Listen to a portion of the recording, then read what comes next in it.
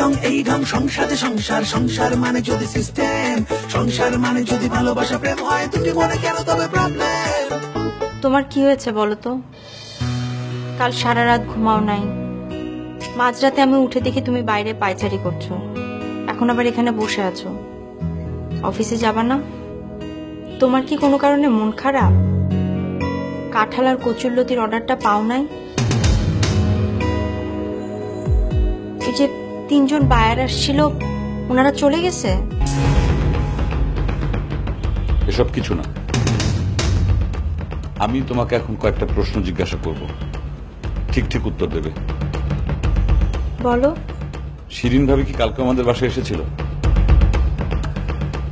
হ্যাঁ। আমার সম্পর্কে আর কি বলেছে? উনি কি বলেছে বলুক না বাদ দাও এসব কথা। কেন? বাদ দেবো কেন?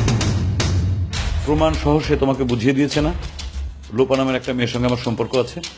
আমি যখন রাতে বাসায় ফিরলাম তখন এই বিষয় নিয়ে আমাকে চার্জ করনি কেন? চার্জ করে কি হবে? চার্জ করলে কি হবে মানে? তুমি আমার কে? স্ত্রী। হ্যাঁ তুমি আমার স্ত্রী। আমি কোথায় যাই কার সঙ্গে যাই কি করি সেটা তোমাকে জানতে হবে।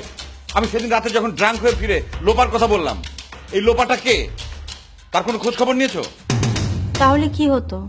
তাহলে তুমি বুঝতে পারতে যে আমার ফোনের কল লিস্টে যে লিমন সেই লিমনই হচ্ছে লোপা আমি যখন তোমাকে যা বুঝিয়েছি যেভাবে ব্যাখ্যা দিয়েছি তুমি সেটাই মেনে নিয়েছো।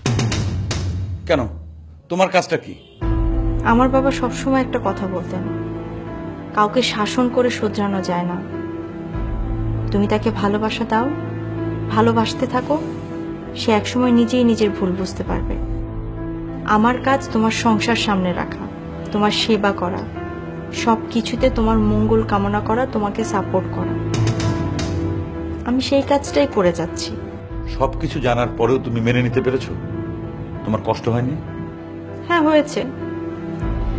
কিন্তু আমি আমার কষ্টটা নিজের মধ্যে রাখার চেষ্টা করেছি। তুমি নিজ থেকে যদি সংশোধন না হও তাহলে আমার কষ্টটা তোমাকে স্পর্শ করতো না। তুমি আরও বিরক্ত হতা। তুমি কি এই যুগের মেয়ে? আমার মা দাদিদের দেখেছি, স্বামীর অত্যাচার তারা মুখ বুঝে সহ্য করত আর গোপনে গোপনে কাঁদত। তোমার তো সেই যুগে জন্ম নেওয়া উচিত ছিল। তুমি এতদিন পরে জন্ম নিয়েছো কেন?